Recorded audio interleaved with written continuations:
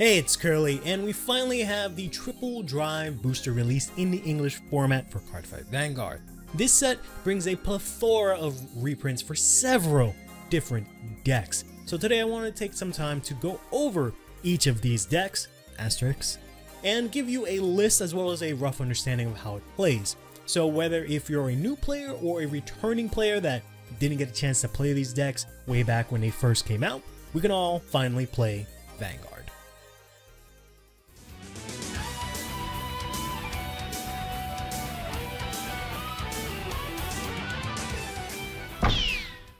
So a few caveats before we actually get started. I said asterisks in the beginning because of the fact that I will not be covering Luon or Zedlands. I'll be doing those in some other way, shape, or form later on, but in the meanwhile, you can check out this video by Outer Orange, where she goes over both of those decks. I'll also not be going over the promo grade 3s that are in this set. I'll be doing a separate video for those later on as well. Mainly cut them for time and because I want to spend some more time going over those lists.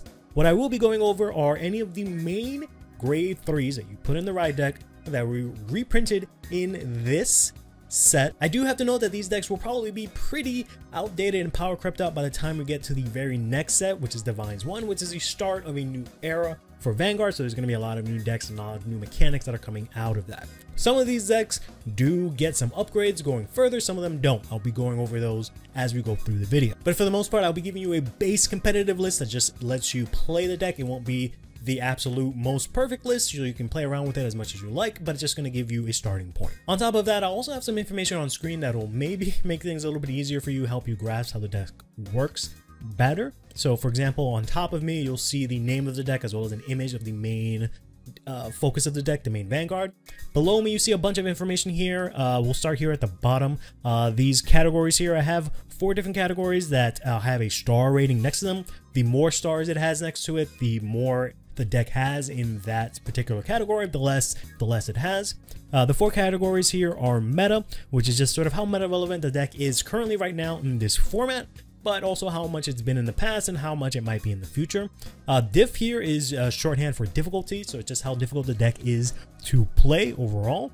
Price is how expensive I expect this deck to be, even considering the reprints. Um, some decks might be really expensive, some decks might not be. And finally, rarity just considers how difficult these cards are to get. So if you have to get them from different sets, if you can get them from this triple drive booster, if you have to get a bunch of promos, what have you, then this number goes up. Then the last thing I'll go over is this sort of graph chart here. This pentagon here has different categories um, at the ends of it. And then there's this little blobby guy that's going to point towards that category in a certain direction. So these here are the five infamous TCG playstyles that uh, are used in a lot of other card games. Doesn't really always apply to Vanguard as well. So I've had to sort of interpret them in my own meaning for the sake of this video.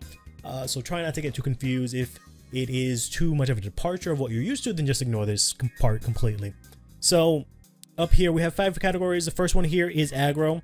Uh, this is just a measure of how much or how quickly the deck is able to put out its main aggression. So something that can uh, put out a lot of aggression turn 2, turn 3 will have more aggro, whereas something that needs to wait until turn 4 and onward will have less aggro but will have more mid-range, which is just a measure of how good the deck is in the late game. Uh, tempo here is how good the deck is at obtaining resources. The higher this is, the better they are. Typically, this is just going to relate to how many cards you can get in hand in a turn. Uh, control here is a measure of how well a deck can disrupt your opponent. So if they can retire, lock, whatever, what have you, uh, they'll have more of a measure of this. And finally, combo here is going to be a measure of how much this deck is piece reliant, right? And how much it relies on getting a bunch of pieces in a single turn in order to do its plays. The more of this that it has, the more piece reliant the deck is. So you can use this uh, information below me if you want. If not, you can just ignore it. Uh, I'll just be going over the deck and we can go ahead and get started with Mahar Nirvana. So the first deck we have here is Mahar Nirvana. You'll see the deck code here in the right of the screen. Um, this deck is used by the main protagonist of the previous anime uh, anime uh, Kondo Yuyu here and it uh, focuses on this grade 4 here. Uh, the name of this whole booster is Triple Drive because these grade 4s have triple drive so it kind of focuses around printing them. What this uh, grade 4 does is that it allows you to one power up your units if you have uh, overdress units on your board. So that is when you take this hooded guy and put it on top of this red guy in order to activate effects. Uh, so that allows you, after you do that, to then power up your other units by this guy's effect. He also says that you can counterblast one and either discard a card with the same name as uh, that has Nirvana in its name, either from soul or from your hand, and then you can call back a grade 0, typically your Trickstar, so you can go into more overdress plays, and also you can ping your opponent for 1 damage if they have 4 or less currently, which is pretty nice. Uh, you also have this uh, promo here that allows you to skip Ride, so while this is a grade 4 deck, you will be able to, from grade 3 here, go into your grade 4. You can only do this if your opponent is on grade 3 themselves.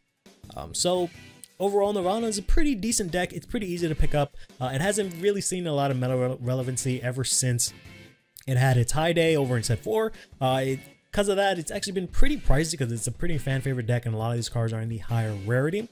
So it is a bit difficult to get. Uh, so you you know, it's hard to get, not really so much worth it competitively at this point in time. There are some couple of cards that will be released in the future that actually support this. Mainly, there is a Blaze Maiden called Cindy that it might help out this deck. Specifically, it probably works out a lot better with the other deck that we'll go over next. I don't remember too well. Uh, but overall, this deck is alright if you want to pick up something. Uh, I've expected to be a lot cheaper thanks to Triple Drive Booster, but it just mainly focuses on doing your overdress and then going into your grade 4 and then just swinging in. Nothing too crazy.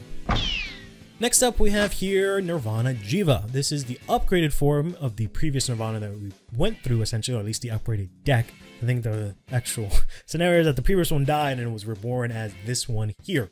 So this one focuses on the same sort of thing. We still have Trickstar and these red guys, but what this does is that it does Trickstar red guys, new red guys, and then a dragon as well in order to do crossover dress. So it's very similar, but it requires a lot of extra pieces, which is why there's a lot more piece oriented. Overall, the deck functions just about the same where you just want to go and do your crossover dress and get the benefits of doing that. Uh, the main star of this deck here is the Strawverina, which is not reprinted in this set. It was released in the previous set, uh, set 13, but it is insane because it is uh, a unit that allows you to crossover dress. It also powers up your Vanguard and allows you to retire your opponent's whole board as well as stand another one of your units when it's stood by your Vanguard's ability, whose Vanguard ability is very simple. It can discard a card to bring back a Prayer Dragon and a Trickstar. You need both of these to cross Overdress. And then it also just says when it attacks, you can counterblast one restand an Overdress unit. So you can Overdress into this, uh, have some other stuff on the other column, use this skill to stand this, and then this skill stands the other thing that you have, and you get yourself five attacks. Um, it's a pretty interesting deck because it uh, kind of has all this crazy protagonist energy to make it work because it's just this crazy amalgamation about different di different skills and stuff but it actually works out decently well right now. It actually ended up being either third or fourth in our recent World Championships. Um, this deck is not super easy to get into uh, and understand because there's a lot of moving pieces, and it's also extremely expensive for the most part, just because of the fact that a lot of these cards are triple rare. Uh, so they're in a lot of different sets also, so they're a bit difficult to get.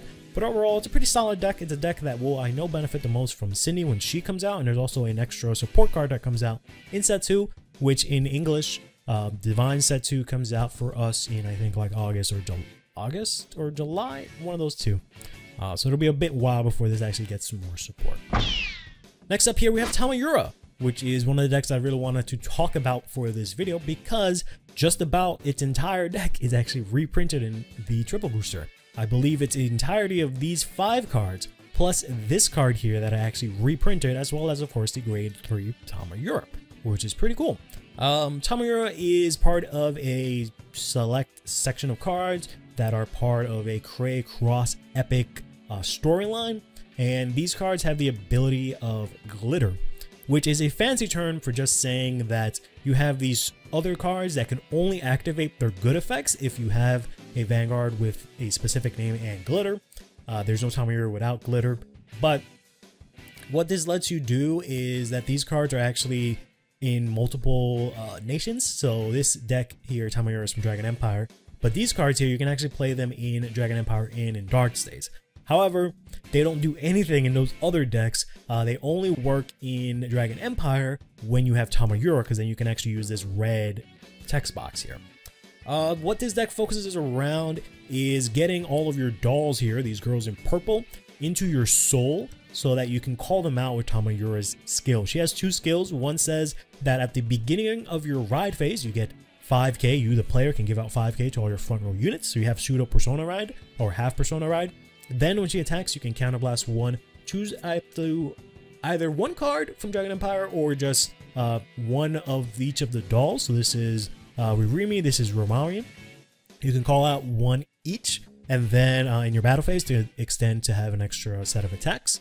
Uh, these both have a skill that say when the other one is placed, you can Soul Blast to either put a card from your opponent's field into Soul, or draw one card, which then lets you Soul Blast out these two gals, and then they say when they're Soul Blasted, you can Counter Blast one for each and call them down into their respective columns of matching different hairstyles, essentially. So the purple one goes in the column of the white one, and the white one goes in the column of the uh, purple one.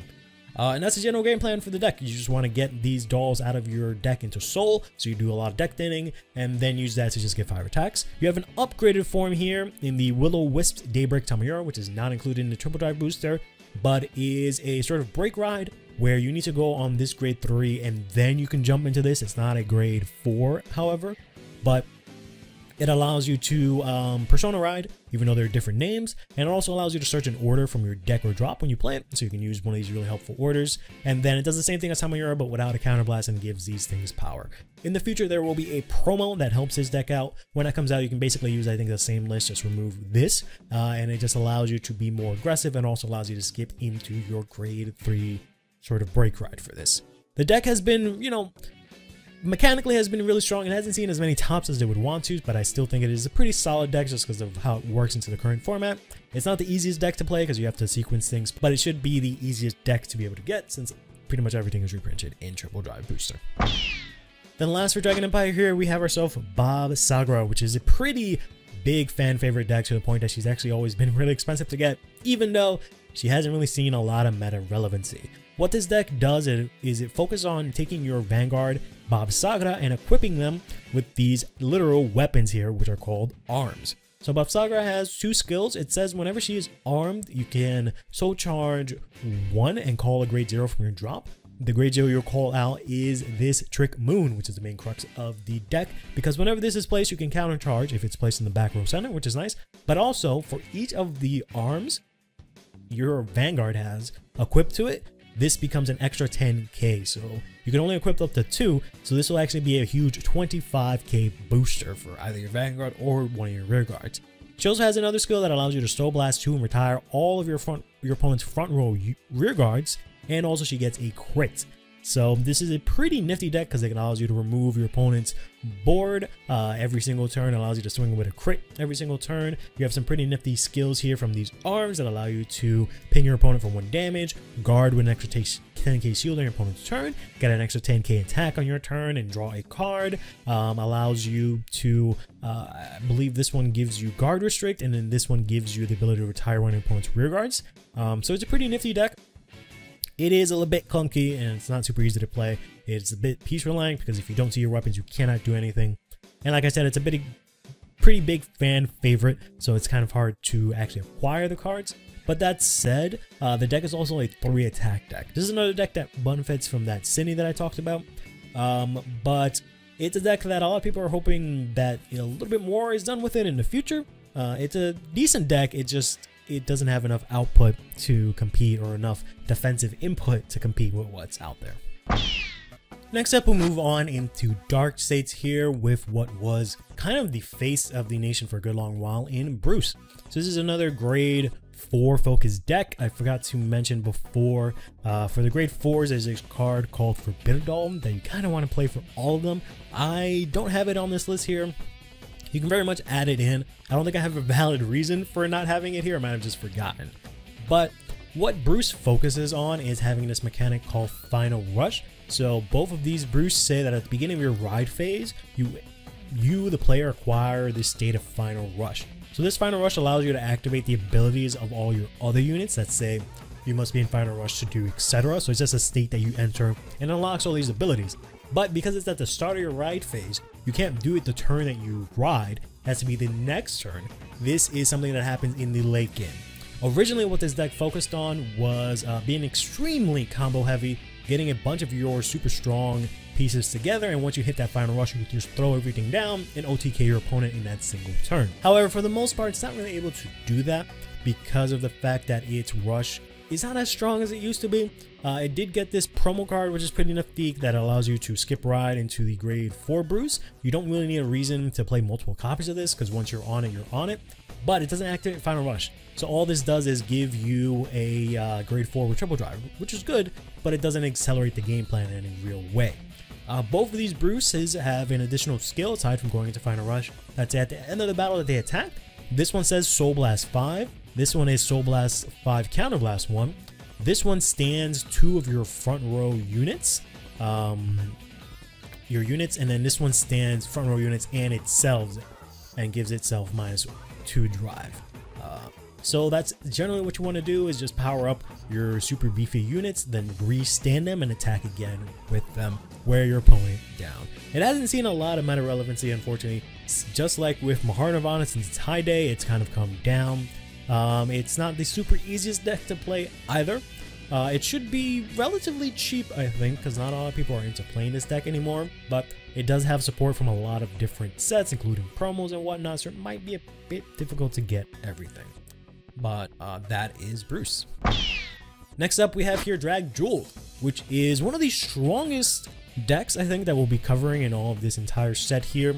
Drajeweled here is the grade 3 that also received a grade 4 but the grade 4 is not reprinted in this set because it just came out in set 13. The main focus of Drag Jewel is getting several different cards with different grades into your soul, so you can use the ability of your Drag Jewels. This one needs 4 different cards with different grades, uh, this one needs 5 different cards with different grades. But when you do so, this one says that you can reduce your opponent's attack to 1, and if you're going second, or I should say if they're on grade 3, you get a crit. Uh, and then that also activates the skills of a lot of your other cards. Like this guy gets power if you have different grades. Uh, and then when you Soul Blast, you can restand it. This says uh, same thing. When you Soul Blast, you can restand another unit, uh, and so on and so forth.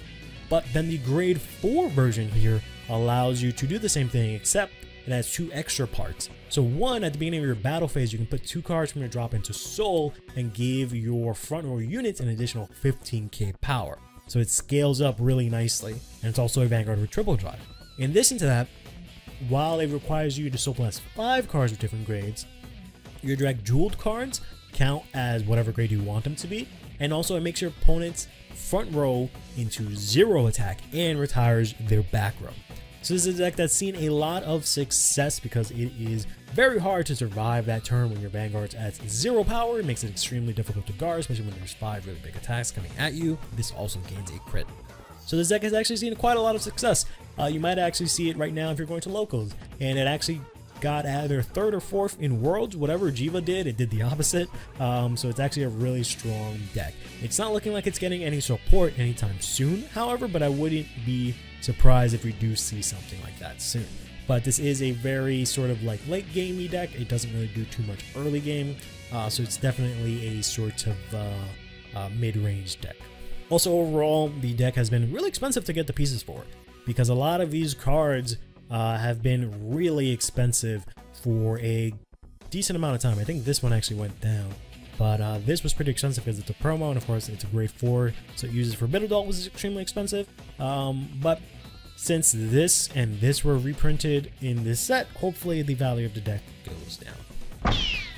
Next up here we have for Dark States is Kheios. So he's another one of the Cray Cross Epic guys with the Glitter ability, where his partner here is Mikani, this one and also this one. The reason the list looks like this, a lot different than the other ones, is that Kheios is a Highlander type deck. Highlander means that you benefit from playing multiple different names of cards in your deck or single copies of cards in your deck. Um, so Kheios's skill, his main skill is that when he attacks, if you have 8 or more cards with different grades in your soul, you can uh, choose one of your units and it gets 10k. But if you have 13 or more, you can choose all of your rear guards except himself and give it 10k. So it gives you Persona Ride for the whole board. Uh, and you can do this on turn 3 if you achieve this. Um, this deck plays a lot of grade 1s to try and soul charge as quickly as possible and get a lot of different names into your soul. And then rush down your opponent because you have things like this guy and this guy can that can get kind of big in general just ramming into your opponent with grade 1s is pretty strong so it's a very aggro type deck but it's also very combo focused because you need to see this guy because he says whenever your Kheios attacks, he can re-stand in order for him to attack again, but then he goes back into soul at the end of that turn. So you can combo that with the fact that this gives you power, as well as this order card here, which allows you to power up as well as call out one of your Mechani so they get an additional 10k. And then also you can use uh, the Queen Lu here in order to make it so that when this guy attacks, your opponent cannot guard a grade 1 or greater cards. So that's kind of what you want to go for.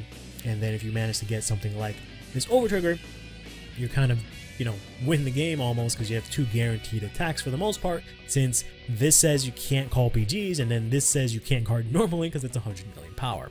Um, one card that's really good that got reprinted here is this uh, Go Off Mechani here because of the fact that he was extremely expensive for a long time. So now he's reprinted, he should be playable in this deck. This deck also has an upgraded grade 3 version here, the Break Ride that I've been calling it. Uh, it'll also be receiving a promo in the future, much like the uh, that we talked about. But this guy says uh, a lot of things. He allows you to on ride Soul Charge 3 if you'd like, so if you need to reach that soul cap. Uh, he activates Persona Ride, and he also says that when he attacks, if you have different names, you can buy him the original copy here, and then give everybody 10k, including himself, and he gets himself a crit, which is uh, pretty good. So that's 10k on top of the Persona Ride as well. So this deck that focuses on getting as much soul as possible, uh, then using your mechanics to just win the game as quickly as possible, because you will deck out pretty easily. This is definitely not an easy deck to play. It also has not seen a lot of meta relevancy, unfortunately. Uh, it shouldn't be too expensive because a lot of the cards are just one-offs, but it might be kind of hard to get all of these different cards. Next up, we'll go over Prison, or Seraph Snow, or Seraph Pure Light here. This is the premier control deck in all of, basically all of Vanguard for the most part. So this deck focuses on using this card here, which is a set order that goes into, your order zone, and it is a unique card in that it is called a Prison. What this does is that then it enables all your other cards that uh, have effects that say choose your opponent's units, put them into your order zone. So you literally take their cards, put them in prison. And in order to get them out, they have to pay a cost. They have to literally pay bonds to get their cards out of prison. The cost being either Soul Blast or Counter Blast 1. So this not only restricts your opponents from using their own units, but it also forces them to use cost for things they'd rather not do so that they can't use, for example, Counterblast for the Vanguard skill because then they have to use it to bail out their units. The main corner piece for this deck here is the Seraph uh, Pura Light here. She says whenever she's rode, uh, you can remove either a copy of the original one or herself from Soul, Counterblast, Soul Blast, specifically that copy, and then your opponent chooses two cards from their field, two cards from their soul, and two cards from their hand to put into the prison. So that instantly wipes your opponent of six resources there. Then it also says that based on the number of cards in your prison, you can give your uh, front row units power. And I believe once you hit 10 cards in prison, you can give everyone an additional critical. So this deck just sort of focuses on getting as many cards into prison as possible. I threw in this guy here just because he gives you a couple of defensive options for the deck because um, this is a grade 4 support card that you'll see in maybe some of these grade 4 decks. Uh, it says it has a skill whenever your Vanguard's a grade 4 or you have a grade 4 in hand. You have two different skills you can activate. One says on place on um, uh, rear circle. The other one says if you do it in Guardian circle, they get 15k. And also if you discard it for ride for a grade 3 or a stride, you get to draw one. Uh, the on play skill for this does not matter for this deck, but uh, the main one is the fact that you can use it to be a 15k shield. Typically what you want to do is just get a bunch of cards in your prison. Uh, you can use Cuff Spring to steal one from the hand. Litro says whenever your opponent guards, uh, that card goes into prison. This says whenever some your opponent calls something out from prison, you can Soul Blast uh, two or one in order to draw one card. So that allows you to be a lot more defensive. This is the Skip Ride, which is also one of the main important parts for the deck because it instantly lets you skip into this, but also reduces the counterblast cost for this, and it also puts a card into prison. So this card is extremely good this deck has uh, seen another resurgence. It was pretty relevant in the past and then it sort of fell off. Then it came back again thanks to these two promos. Of course, it does mean you have to get these two promos, so that does make the deck a little bit more difficult to build. And it's also not the easiest deck to build by any way, shape, or form because you have to sequence your plays correctly to put the correct cards into play, make sure you push when you can, so on and so forth. Uh, but it does have some pretty decent matchups against a lot of decks that don't have the means to play the cost here or don't want to lose their units. Next up for Brandt Gate, I'm kind of cheating here a little bit because of the fact that they actually reprinted a different version of Orfist here. They reprinted the original one, which is not very good um, because this upgraded version is way better. What this upgraded version does is that it allows you to on ride, you can choose a, a set order, I believe it is, from your drop, a world order, and put it into your order zone. And then whenever it attacks, you counterblast discard, and you can choose um, up to every two cards that you have in your order zone, world cards, you can call a Shadow Army token, and this guy gets 5k for each of those two. This has an upgraded form in the mass version here. Here, which is what we're going to be talking about. The original version just says you counterblast two to call up three Shadow Army tokens. Uh, yeah, let's not do that. Instead, what we can do here and use this guy here who says you can counterblast one, remove, or put into drop as many set orders as you'd like. And for each of those set orders, this guy lets you call out a Shadow Army token, and then also you can uh, get an additional drive if you do two or more. So you have a lot of cards here that allow you to play your uh, orders from your drop, as well as allow you to put your orders into drop, and also when they're called over with a token, you get a benefit. So this allows you to call another token. This allows you to draw cards, uh, which is pretty nifty. So overall, this deck focuses on these world orders here, which you have to put them into your order zone, but for the most part, you just cheat on how to play it because you have this guy that says on ride, this guy allows you to remove this guy here to then play uh, some of them from your drop. So that's basically what this deck revolves around is these worlds, cheating them out, going into this guy, getting your Shadow Army tokens, which are 15k grade 1, so they can work as boosters or attackers. This deck was pretty meta relevant for a good amount of time, but then it kind of fell off in favor of other decks. I think it still is pretty strong, maybe not the most consistent, but it can probably be um, you know, improved on by players. It's definitely not the easiest deck to play either, but uh, it should be relatively cheap because there was a deck set that allowed you to get access to a lot of these cards. Next up here for um, Brandt Gate, we have ourselves Gravidia. So Gravidia is a bit of a tough one because she actually does have a mass version, but it's not very good. It gets support in the next set, and uh, I've tried it myself, and I haven't been able to make it work per se, into a point where I feel comfortable telling people to play the deck. So instead I have here a very old list um, that probably won't see as much use either unfortunately because of the fact that it's using very old cards. This deck was extremely good in its heyday, but then because of this, presumably it just stopped receiving any type of good support. So what this deck does is that it focuses on using these meteor cards here, which are literal bricks, rocks that you have to put into your order zone. What you do is that when your Vanguard attacks, you counterblast one, put any number of these from your order zone into drop in order for this gal here to get different effects. So if you put one, you get 15k. If you put three or more, so you get a crit. And if you put five or more, she gets the ability where whenever you drive check a trigger, you can activate the effect twice. So if you check a critical trigger, you can activate the effect of that trigger twice, which the effect is to give a unit critical, so you give critical twice, and then to give a unit 10k power, you give that 10k power twice. I don't know why I circled here, but that's fine. You guys understand what I mean. Um, she has the unique distinction of being the deck that can literally OTK anyone beyond any reasonable doubt. There's no way that they can survive because she has the ability to put away five of these meteors and then check this over trigger, which doubles the power and crit already. So this doubles this, which already doubles, which means this can sometimes just inflict 16 damage to your opponent to the point where it's just literally impossible for them to survive if they didn't guard the attack, which is near impossible um, considering if they flip this, right? So it's a very insane deck in terms of what it can do, but it can't really do that consistently. Uh, it also doesn't really have a lot of pressure outside of that. So if it doesn't check any triggers, really doesn't do too much uh, aside from having 15k in a crit. You can have your rear guard here have a crit as well as it gets 5k if something is retired, and then it gets an additional crit if three cards were retired. But that's the general crux of the deck is just you play this, uh, you try and get your rocks out. Um, whenever she's rode, you can choose two from your deck and put them into the order zone, and whenever these are played by Vanguard ability, you draw two. But it's a deck that really hasn't seen a lot of use. Um, it can still take some people by surprise, but it doesn't really have any of the tools to really compete, in my opinion, with a lot of the other decks that we have out there. Then the last Brandt Gate deck we have here is going to be Eva, which is a deck that was, you know, very prevalent in competitive use for a very long time. And it's looking like it's going to see another resurgence with a promo card because this is one of those glitter cards that we talked about. So it will have a glitter partner that will come out that'll allow it to skip right into this grade 3 break ride version.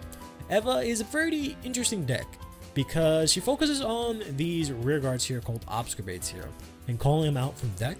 They get an ability where they get an additional crit and power if you have at least three research cards in your order zone. So there's set orders that say research. Um, and she's a bit of a more grindy deck and able to thin out her deck to just check triggers and get PGs to last out the game as well as check heals.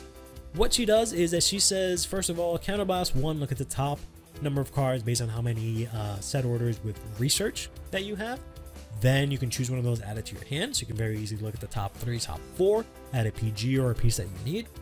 Then she also has a skill that says when she attacks, you counterblast, soul blast, uh, choose an obfuscate from your deck or hand and call it out. And then uh, this guy says whenever he's called out by an ability, he can get an additional uh, 10k and crit if you have uh, this, or I think it might be if you have specifically Eva. But he also gets an additional 10k shield, even though he's a grade 3 whenever you have Eva. So he's a really strong attacker as well as a strong defender because he also gets intercept. Uh, these set orders give you a lot of use as well because this one here, the blue one says that you can look at the top five, call something, and that counts as something by an ability.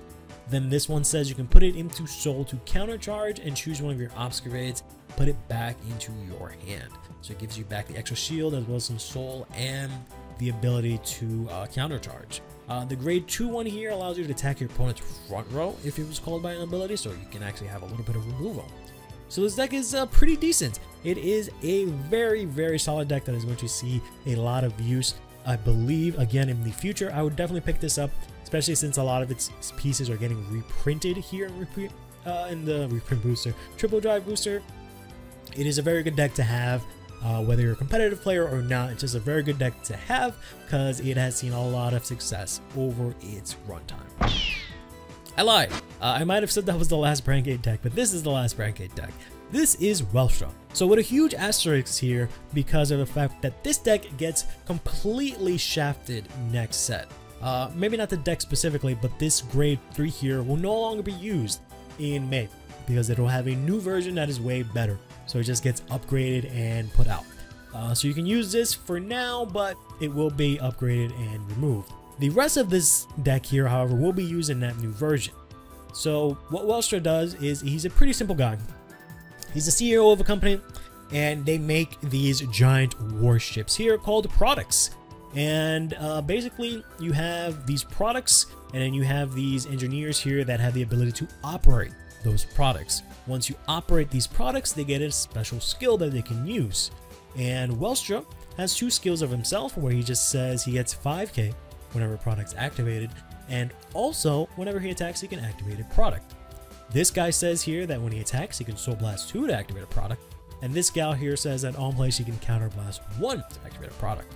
She says she can rest herself and Counter Blast to activate a product, and these products have some pretty interesting skills. For example, this one here says that you can look at the top 5, call up to any card from among them, grade less than equal to your Vanguard, this one can call itself out and become a 10k attacker and booster. And then the main one here is this Frischholz Maximum here.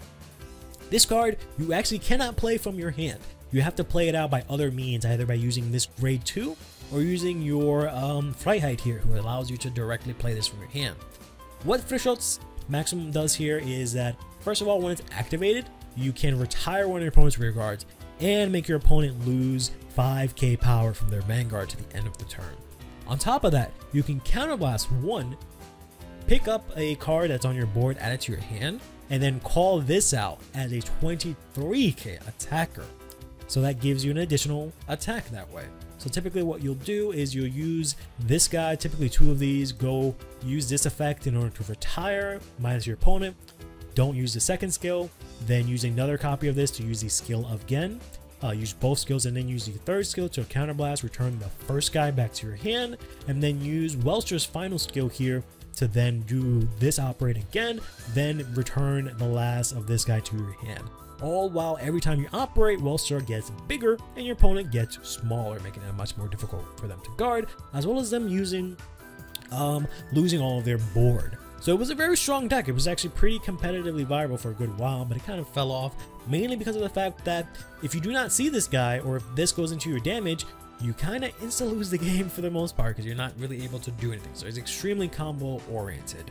Uh, it was extremely expensive for some time now. It's going to be a lot cheaper um, in the interim because this will get reprinted. This was really expensive for really no good reason.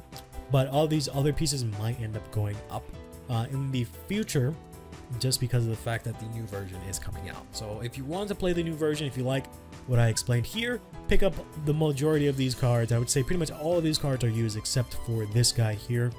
Uh, this one sees some fringe play and these guys don't. Um, pick up everything else and you'll be able to pick up the new version with just maybe adding three new cards. Then next up here we have Keter Sanctuary here. This will be kind of quick because of the fact that we only have three decks to go over here, and I'll explain why when we go over the next decks. But one of the reasons is that we got ourselves a grade 4 Bastion here reprinted, but we're not actually focusing around that. We're actually focusing on its evolved uh, version here in Bastion Accord. Bastion overall is a deck that focuses on having grade 3 units on your board to, you know, sometimes a lot of success. It's definitely a very explosive deck, but it has really no early gameplay and it has no real way in general to protect yourselves. Uh, it's evolved a little bit past that where now we have the Bastion Accord. So first of all, he counts as the original Bastion. He also has a skill that all your front row grade 3s get additional 5k power and cannot be targeted by your opponent's effects. So he protects your units. And on top of all of that, he also has a skill that says when he attacks, uh, you can choose one of your other units, restand it, and it can get the ability that it can counterblast one, discard a bastion in order to get drive checks. So you can actually get four drives in a turn, you know, to uh, two from this and then two from, let's say, another grade three that's attacking. Uh, so this deck is very explosive in the late game because of the ability that it can just, you know, get all these huge grade threes out there, just swing for a lot and have drive checks. Uh, on top of that, they're a lot more defensive now because they have a grade three uh, here in the Owl, which is actually a grade 1, so acts as shield. Then they have this grade 3, which is the grade 4 support that they can use with the Bastion here uh, in order to get shield. The grade 4 Bastion Prime here you can actually go into as a finisher. mainly use it as the cost for this, but you can skip into it if you'd like with this skill here after you Persona Ride in order to go into this guy who says uh, basically whenever he attacks, if you drive check a grade 3 uh, or greater, you can uh, Soul Blast out or discard a copy of either Bastion to restand all of your grade 3 units and give them 10k. So that's a huge, massive output of attacks. Uh, I probably went a little bit way too conservative here in the mid range, but it's probably not accurate. So you can probably put this out a lot more. This was a deck that was extremely meta relevant for a good amount of time. It kind of fell off in the English version at least for not too much of a reason, uh, I think it's still a really good deck. That being said, it's not really getting any support anytime soon that we know of. It is also the, one of the easiest decks to play because it's really straightforward. Uh, but it has been really expensive just due to the fact that it is a bit of a fan. Next up here we have Youthberk. This is undoubtedly the most expensive deck in all of this format. For a good while. This reprint will hopefully change that. But part of the reason that you don't actually have a lot of decks for Keter Sanctuary to build from this set is because uh, this guy uses multiple forms and they were all reprinted in this set as opposed to, you know, some other bosses or something like that. Uh, so Youthberk is a deck that focuses on using the Revolve form mechanic. What does that mean? It means you use cards with Youthberk in their name that have Revolve form, and at the end of the battle that the original Youthberk here attacks, you go into this other form here, so you get an additional Vanguard attack. And then they have their own skills that, you know, activate whenever they do this. Then they've gotten this upgraded form here, which is a new Revolve form that uh, gets more powerful if you have the previous Revolve form in your soul. So it says if you have all three of them, you get to activate multiple different effects. So one of them gives you a drive, one of them gives you a crit, uh, one of them allows you to put one of your opponent's rear guards to the bottom of their deck, and then if you have all three of them, you give your front row plus 15k. So it's a relatively strong deck. It has seen a lot of meta relevancy for a good amount of time. It is pretty, overall pretty simple because the deck build is literally just four of the cards that allow you to put these guys into your soul.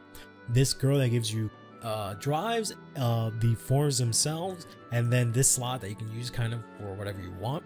Um, that's generally the build for the deck is very straightforward. Uh, it's like I've said, it's been the most expensive deck in this format for a very long time. This, you know, booster should help it out. We'll have to wait and see. But overall, the deck is able to amass a good amount of resources from its drives and just being able to thin out the deck from these, you know, essentially bricks uh, in order to check its triggers and get really strong thanks to this guy powering up all of your units. Not to mention you can do that on top of a Persona Ride.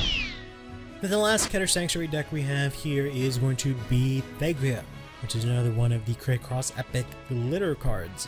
Uh, her partner here is Maple, that is actually seen in a lot of other decks because her first skill is actually really good as opposed to the second one. She's actually the one that's in reverse, and she actually gets reprinted in the set, which is good for a lot of other decks. Thegrea is another one of the reasons why we don't have as many um, boss units in this deck, in this set I should say, because of the fact that both of her forms were reprinted. She has a third form here, but Thegrea's mechanic revolves on using both the light and dark versions of herself in order to gain effects. What happens here is that the deck focuses around either having the uh, dark version in the soul when you use the skill of the light version, or having the light version in soul when you use the skill of the dark version. But also, they get a skill whenever you take the light version and ride it over the dark version, and vice versa. When you take the dark version, ride it over the light version they get an additional skill. Uh, then we have ourselves this version here, which actually gets its uh, promo next month, which allows you to skip right into this. This allows you to do quite a couple of things. Uh, it allows you to take a version from your soul, uh, sorry, from your deck, put into your soul. So it allows you to activate the skill of the opposite one if you need to.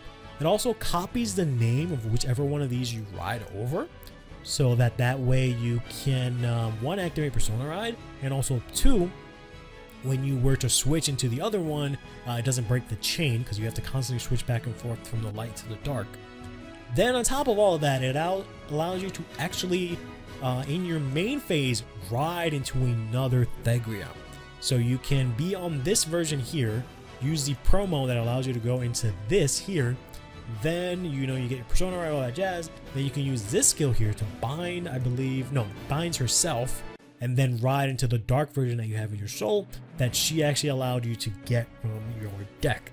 So then that allows you to actually Persona Ride again. So you get Persona Ride in two turns. Uh, twice in one turn, sorry. And you can actually use this to power up your Persona Ride because it says every time you Persona Ride, instead of drawing one card, you draw two. Instead of um, 10k, you give 15k. So you give 30k to your front row. Uh, finally, the skill of the dark version here is that when she attacks, she can, if she rode over the light version, she can restand at the end of that battle. And then the light version says if she rode over the dark version, that you can choose one of your rear guards, grade 2 or less, and restand them. Uh, so Thegrea is generally a kind of difficult deck to get around because she has all these really interesting mechanics. It's a really fun deck. It doesn't do as well competitively, unfortunately. Um, it has this issue where it does have these massive numbers, but doesn't really have the best rear guards available to it to make use of it. Uh, there's definitely a lot of different ways you can build a deck. I gave you sort of just a general basic build here. Uh, I believe it shouldn't be too expensive, but it might be kind of rare because of the promo. This is also a promo, but thankfully it was reprinted in this set. Next up, we have the last nation here in Stoicheia. We'll go over Magnolia, first, which is like I've talked about a lot on this channel. This build here is going to focus on specifically the grade 4 version. I decided to not go over two versions of Magnolia here, so similar to Bastion, how we went over just that one version, we're just going to go over this grade 4 version here. Magnolia is a deck that has focused on mainly just enabling your units to being able to attack even if they're in the back row. So this deck can actually do six attacks because uh, mainly this version here gives you the ability that all of your units get an additional 5k power. They can intercept from the back row, and they can also attack from the back row. So whatever units you throw down, they can attack. Uh, what this deck really excels at is just being able to pump out as many attacks as possible. They don't get the highest numbers. Sometimes you can mess around with the build if you'd like to make that happen, but it has a lot of ways to also acquire resources because of the fact that this allows you to actually call out a card from your soul every time you ride it. The goat here allows itself to go into soul every time you ride a Magnolia, so you can call out the goat with this skill and then put another goat into soul every time that happens. This gets an additional uh, plus 5 or total plus 10k. Uh, you have the skip right here promo in the ride deck because you desperately need to go into this as quickly as you can. And uh, you play this here because you can do a combo where you ride into grade 3 you use let's say this guy or specifically the um, Forbidden Doll to get these two cards. Then you use this skill to Soul Blast 1 return something from drop into your hand you can return this card and then you can go ahead and instantly use it to then skip into this. So it works out really well. This is a bit of a like toolboxy type deck because you can do a lot of different things and play a lot of different uh, cards in this deck. This deck will actually be receiving some support in the future. Well, it'll actually receive two new Grade 2s that help out the deck quite a bit, as well as a brand new Grade 2 and Grade 1 in the ride deck. Uh, we'll see whether or not that's played or not. I've messed around with it a little bit. I'm still sort of on the fence. Uh, the reason we're playing this guy, this is the Rancor Chain, is because he says whenever you are uh, him as the Vanguard, you Soul Blast 1, draw 2 cards, discard in order, if not discard 2. So this allows you to very easily dig into your deck to make sure you see either this guy here, the Forbidden Doll, or the Great Force, you can actually go into it. Next up here we have ourselves Bavsargra. So I have to give you the kind of the same um, caveat that I gave you for Wellstrike because this will also be upgraded in the near future. It's later on from the Wellster one because Wellster is updated in set 1, you get to new form, whereas um, set 1, set 14, if you want to call it that, set 15, set 2, uh, Zorga gets his new form. However, you might end up using Zorga Mask in that build, or at least you can. You know, the jury's still out on that. But Zorga here is a deck that focuses on using order cards. In the game of Vanguard, you can only use orders once per turn per the rules right now.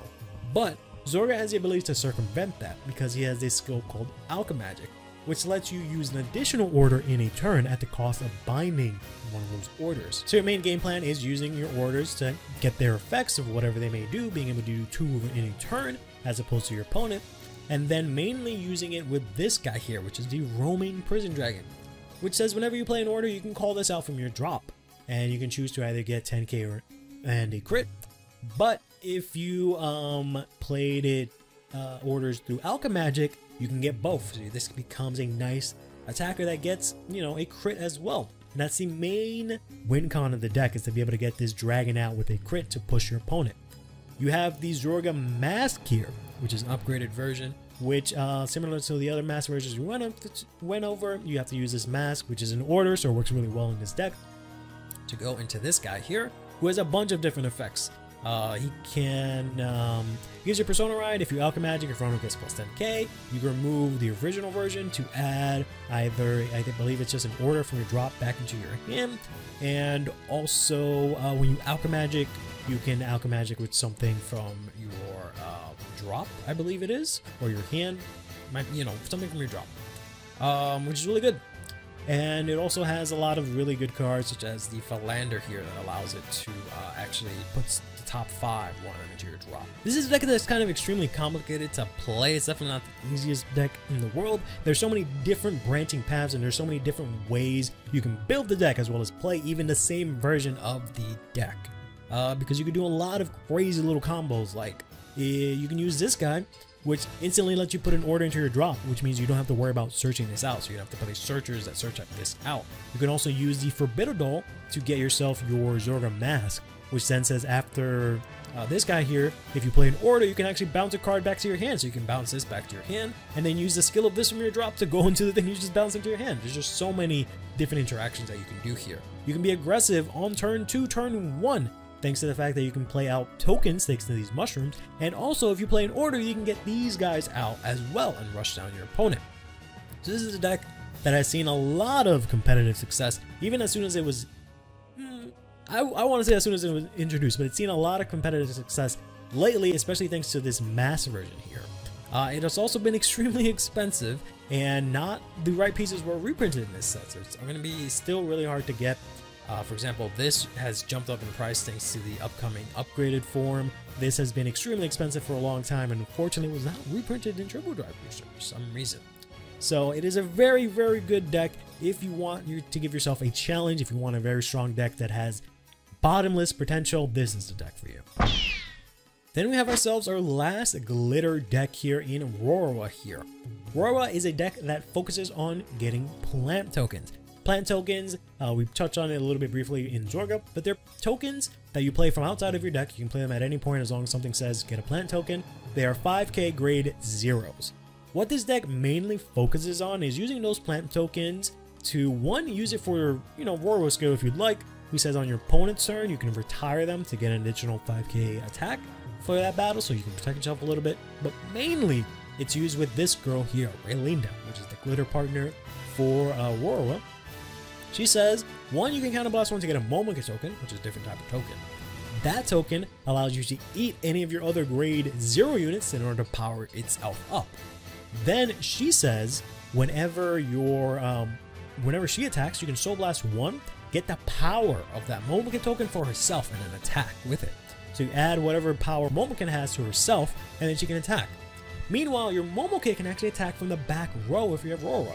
So you have yourselves two really big attacks here that you can then emphasize with the upgraded or the grade 3 version, not so much upgraded, uh, uh, Raylinda here, who can actually, from your hand, you can essentially tribute both Raylinda and Momoke to play her, and then she gets mid-battle, you get extend into this, she gets an extra power based on what your Momoke had. So this is a deck that is able to very aggressively do this from turn 2. You can play out all your tokens and rush down your opponent.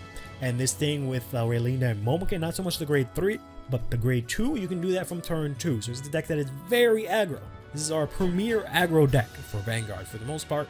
So this deck just focuses on using the tokens because they are kind of just free advantage. You can get these tokens out, attack with them. You uh, don't really care if you lose them or whatever the case because they're not really units.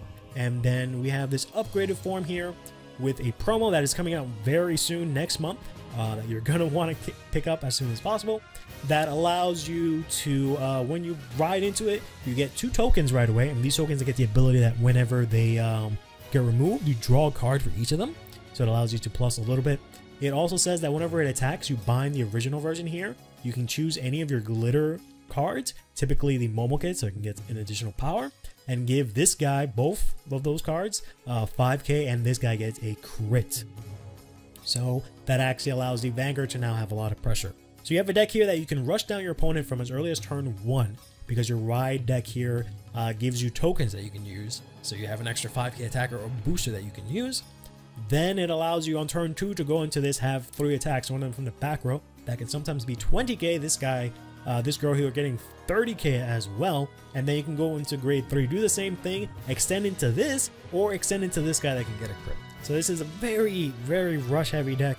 Uh, and unfortunately does not do a lot in the late game, does have no way to remove your opponent's rear guards, doesn't really draw any kinds of cards. Uh, I'm here playing it a bit conservatively. I usually play something funky like a bunch of draw triggers, uh, maybe even no crits, but we're playing just three heals here just to get the extra crit pressure. Uh, we're playing this trigger, this over trigger, because what you can do is with the Momoke, you can uh, give that 100 million, have it attack twice, then it can give this 100 million, and it can give this 100 million, so you can get 100 million four times in a single turn. Um, the deck is, you know, not the hardest to play, but you do have to sequence things correctly. It hasn't been meta relevant at all, but it has been secretly really good just because of the fact that it is super aggressive. So it's really high rolling. So if it pops off, it pops off. And if it doesn't, it's a wet noodle. Uh, but it should be relatively cheap after all these reprints. Then we have the very last deck here, which is possibly tied with Drajeweled, maybe stronger than Drajeweled, or uh, stronger might not be the right word, but more competitively viable than Drajeweled in Leonore. She had a good amount of her cards reprinted here. Um, however, it's not going to be enough for this build specifically, so it's going to be kind of expensive. Kind of hard to get to because you have yourselves one, two promos here. A card that's pretty expensive, a card that's become kind of expensive, and then another promo. But Leonord as a deck focuses on having all of your back row units boost your Vanguard. So you get a huge Vanguard swing. That can also get triple drive. Then you have yourself the mass version here of Leonord, which allows you to uh, do the same thing, but then it allows you to restand your front row units. You can get five attacks, or technically any units that you want. Whereas the original version only allowed you to restand your back row units after you boosted with her, and then you had other ways to get extra attacks. But this makes it a lot easier, and plus you have the added benefit of it being a mass deck, so you can get Persona Ride if you go second. On top of that, there is a third form of Leonord here, which is the uh, Unison dress, the Marchet Floor uh, Lillian, or Lillian, Leonord Vivance here. This version is kind of insane. You can only use this on turn uh, 4. Uh, it's not a grade 3, however, but you can only use it on turn 4. And it says basically you take all of your units and they boost your Vanguard. Uh, so this is an insanely huge Vanguard swing. Even if they boosted or attacked already, you restand all of them and they all boosted. Uh, I think even if they don't have boost, they get boost for that one attack. Uh, so this is a huge swing. And then after that, you can choose, uh, I believe, your whole front row or three different units and restand them. And if you choose her, she loses a drive. So you get an additional Vanguard attack on top of that. Um, the main main thing about this deck is that you can use a lot of the tokens thanks to this Rosarian Fairy here who says on place retire a, a, unit to get two tokens. So you can do the same strategy as Rora, be extremely aggressive in the early game here using this to get you know the free advantage with tokens and whatnot. And then uh, you can go even if you go second, you have the capability to go into the mass, so you still get the aggression here. And then you can close out the game with this in the late game. This deck kind of does about everything, and it's not super piece reliant. It kind of is, but doesn't really need that many specific pieces to do it. Even if you just have random cards, you can kind of go off. Uh, but it has just no way of control. That's the only thing that this deck doesn't have. Uh, but this deck can literally be aggressive turn 1, turn 2, turn 3, turn 4 if you, you know, get the right cards. It also has the capability to be extremely strong thanks to the fact that this guy again can also say that um, when it attacks, choose another unit and it gets its same power. So it's very similar to Rora in this case. Uh, typically what you do is this fella here who gets um, boost, he's a grade 2 boost and he gets power. So you can put all of your power diverted into this and then use your two copies of this in your front row to then copy this thing's power to get huge. And then when you go into this, that's like five different huge attacks. So this is a very strong deck here. Uh, they got a new promo that helps it out with consistency because of the fact that it allows you to, I believe, if you have this version or you reveal it from your hand or something like that, you can Soul Blast, call something out from your drop. So it allows you to have that recursion to be more consistent. And I think she goes to Soul to countercharge. I, this card is kind of new. I don't know it off, off the top of my head. I'll have it on screen so you guys can take a look at it. But this is an insanely good deck. Whew, that was long. Uh, and, you know, that's going to be every single deck. Like I said, I'll talk over some of the other ones later on in the future. Uh, for every build I've showed, like I said, it's the base competitive build. You can definitely mess around with it a lot. The triggers on static, you can mess around with that as well. Um, and, you know, overall, I just hope this video helped if you're trying to get into Vanguard or trying to try out a new deck, you have some sort of baseline to work with. Uh, the triple drive booster should help out a lot with that. Unfortunately, I hope a lot of these decks get a little bit more support in the future. It's not to say none of them will, it's just as of right now, they're sort of focusing on a lot of the newer stuff and some of the other decks. So they kind of reprinted these as sort of like the old guard as we go into the new generation with Divines. Um, so if you do get these decks, don't be too discouraged. Uh, you can probably use some of those pieces in other decks if you want to, but I wouldn't be surprised if these get some sort of support in the future, especially since these are a lot of um, anime focused decks, so they're important in the anime, so they're bound to get support in some way, shape, or form in the future because uh, the company really likes these decks for the most part. I hope you guys enjoyed this video. Let me know in the comments what you think. But till the next time, take care of yourselves and each other, play Vanguard, and have yourselves a damn good one.